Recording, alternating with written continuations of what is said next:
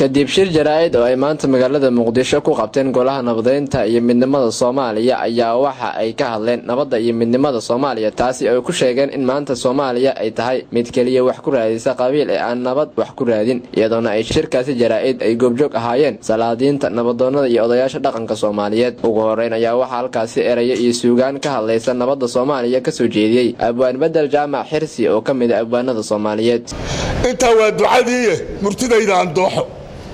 hawshan aad damcdeene dadaalkan u gasheeneed daartan aad u kirayseen debyayna ka xumaane dar alla ha ahaato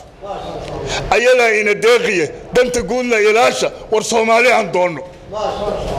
Dood kaleetaan raacsho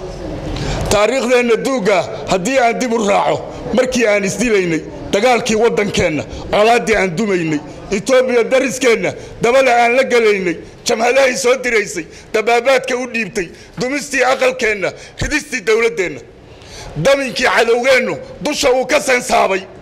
innagoo aan dareemin degdegaan isugu tuurnay markii daadkuna qaadana ilmadii aynu duugnay. Najiidadii ka dambaysay darageedu wakaaso dambarkiina ka maallay isku daallay haddeere war maxaa noo dana maanta sidoo kale waxaa halkaasi ka hadlay suldaan maxamed bin cali unsade isaga oo sheegay in dalka ay ka jiraan dhibaatooyin fara badani waxa uuna tibaaxay in laga joogsado qabiilka iyo is-inkiraadda lagu samaynayo qaar ka mid a shacabka ku nool gobolka banaadir iyo gobollada dalka soomaaliya. Farxad waxaa ii ah oo weyn sidii khaymaha io qadarinta leh fadhigaan odayaasha ay fadhiyaan odayaashoo idil taasoo ay tahay mahad ilaah soomaalida waxay ku faantaa odayaal yaa wax dhaqi jiri. Odayaal aan wax dhaqaya. Hase ahaatee maanta hadduu ilaahay ka raalli noqdo waxaan huwaa hadallahal meeshaan laga jeedinayo in ay naqon doon mid mirdhala dowladda marka halkas waxay tidaa odayaasha ha loo yeero. Odayaasha ha loo yeero war ma ah. Odayaasha go'aanada gaadaan ma fulinay dowladda kow aniga waxaan ka hadlayaa saddex qodob qodobka koowaad xaq iyo waxa lagu bedeli xal laa yujus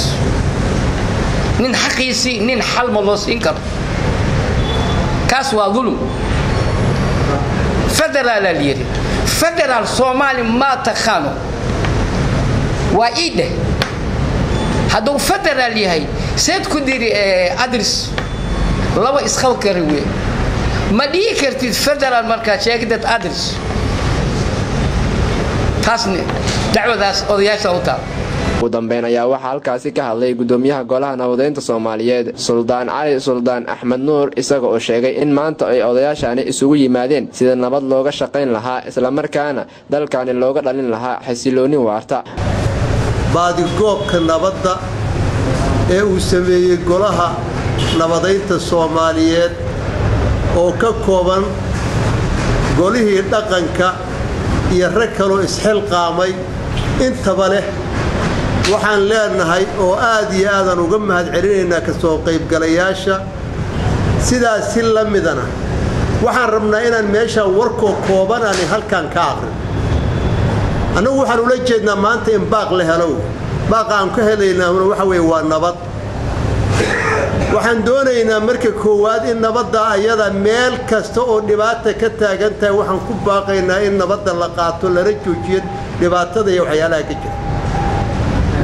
waxaan aad iyo aad u codsanaynaa odayaashii baan nahay salaadiintii baan nahay dhaqankii baan nahay